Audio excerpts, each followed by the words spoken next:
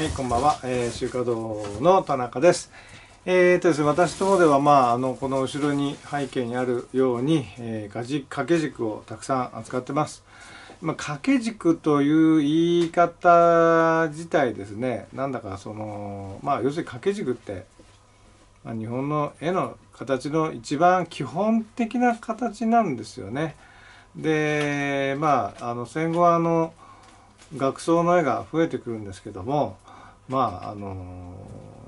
日本の美術が一番しっくりくるのは掛け軸の形かなと思います。えー、掛け軸の形になってるのは平安時代から、ま、昭和まで、えー、ずっとまあ何百年何千年と掛け軸なんですね。今の作家さんでも掛け軸の良さに気づいて掛け軸仕立てに、されてる方も一部いらっしゃいます。えー、最近に言ったら誰ですかね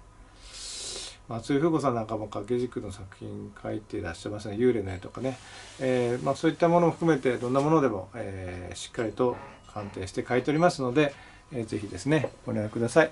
私どもの連絡先は、え、全国から無料で連絡いただけます。0120いつもこと。はいそんなことでよろしくお願いします。